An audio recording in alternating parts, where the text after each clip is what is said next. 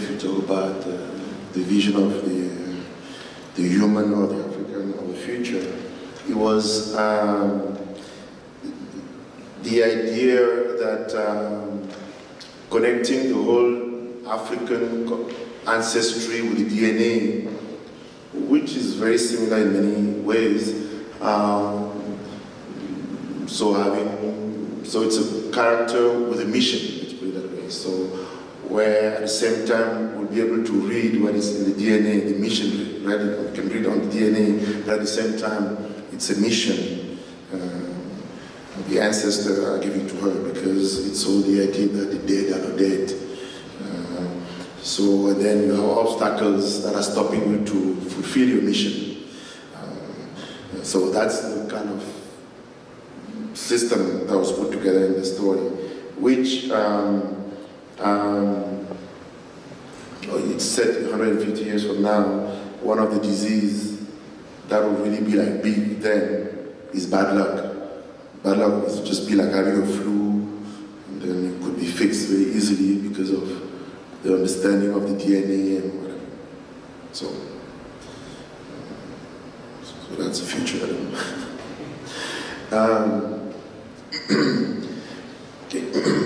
One of the last thing I'll just talk about is the idea that um, uh, to go beyond cinema, meaning if cinema being just, let's say, if you look at it in a, in a therapeutic way where people go to see a psychiatrist and who will heal them based on the story, their story, you know, and I think it's, um, uh, if you define cinema like, uh, uh, it's about telling stories with pictures and sound.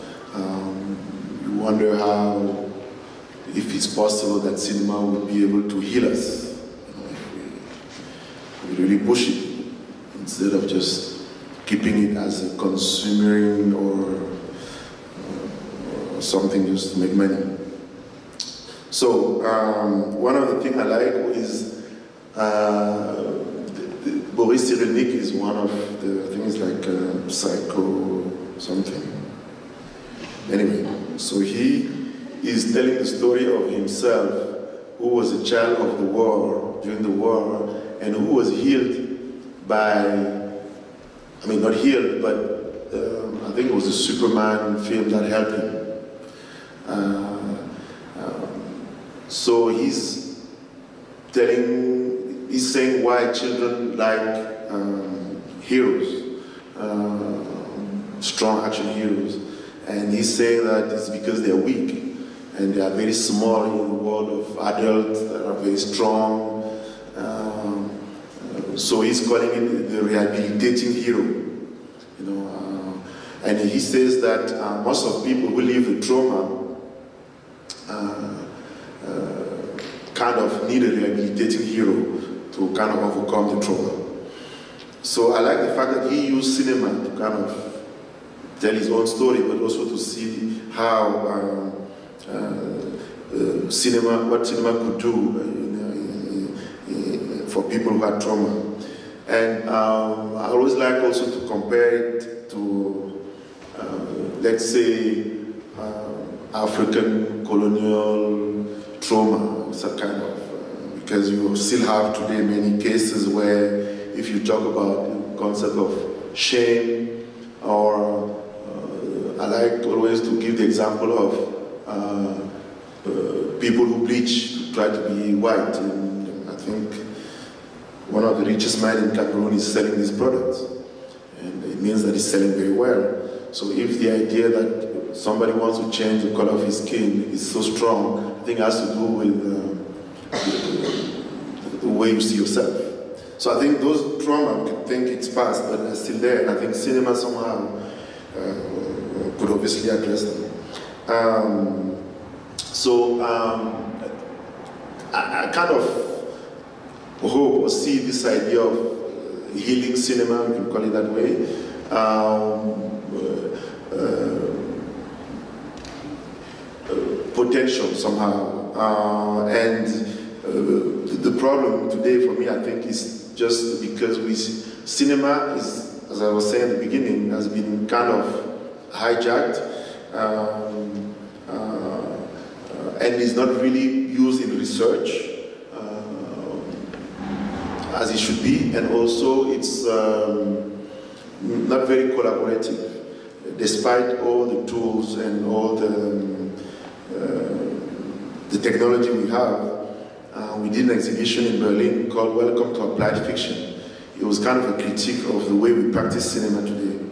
Uh, and also the fact that it's very old fashioned because the film might look good, the effects, but when you know the process, uh, it hasn't really changed much in almost 100 to 50 years. Um, so that's kind of where um, I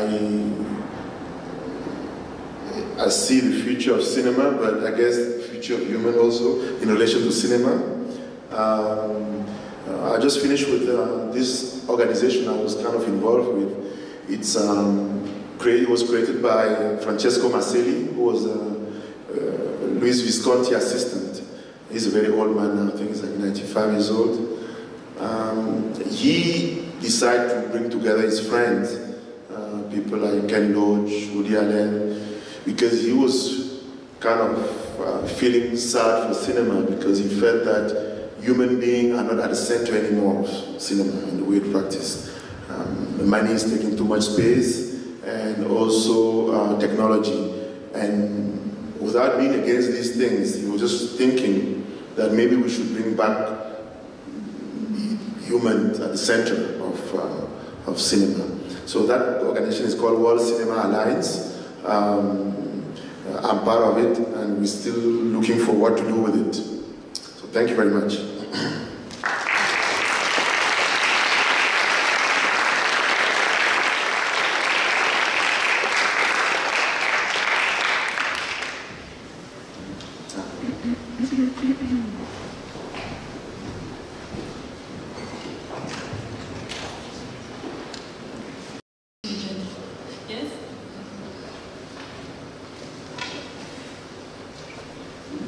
Hi, hi. Thanks for uh, everything.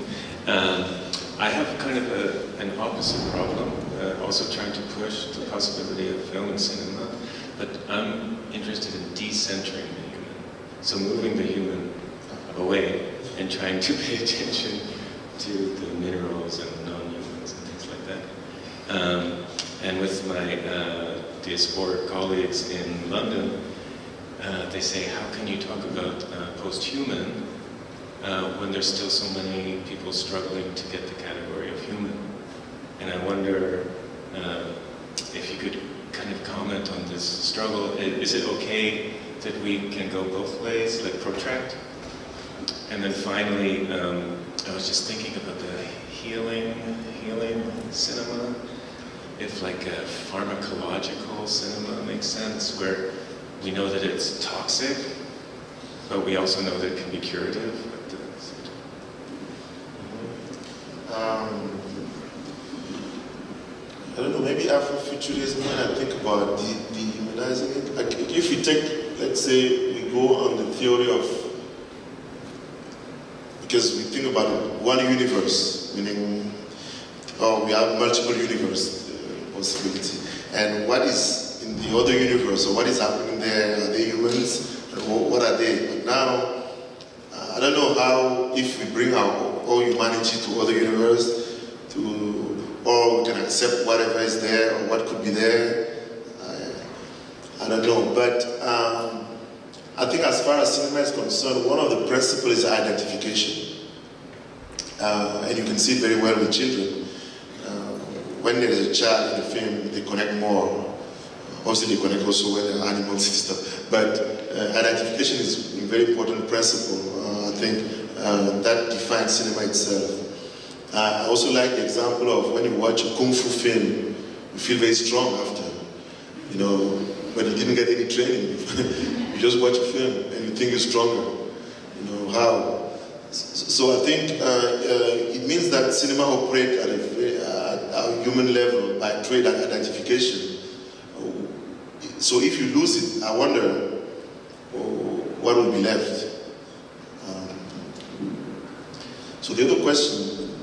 Um, oh, uh, if, it makes sense to think about it curative, curative, uh, yes, but together with the toxic. Toxic, yeah, yeah, yeah, definitely. Um, I feel like right now we're getting only the toxic. uh, because the intention is not the human. I mean, nobody writing a script cares about you. I know, I'm exaggerating. but the system really uh, around uh, the whole film uh, thing right now doesn't care much. When I say system is Hollywood, I think they really wonder where the human is going. I don't think so. Uh, so, um, but I also believe that it's a field, it could be a field of study without taking it out of the art and all this. I still think um, uh, it could be, it could improve, it could be, be improved with the knowledge that I've been accumulated, like in cognitive science. I didn't think we don't use any of these things you know, in cinema today. Um, and, and knowledge being accumulated, somebody was actually saying that um, the school system we have today um, won't be able to help our children will be confronted with artificial intelligence. Obviously, you know, people see that uh, the, the, machine will kill the human, you know, something like this. Uh, but, but, it's very clear that cinema, in that sense, uh, um, could do a lot more.